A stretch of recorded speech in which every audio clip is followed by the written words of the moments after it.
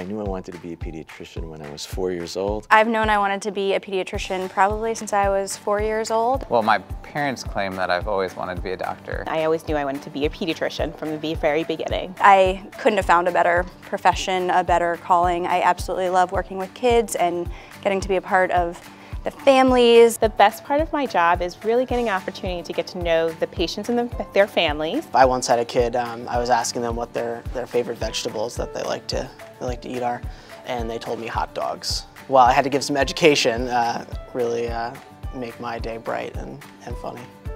I love it because I make a difference. Um, I can be myself. I don't have to be who I'm not. I can bring joy into people's lives. I can help people when they're very sick.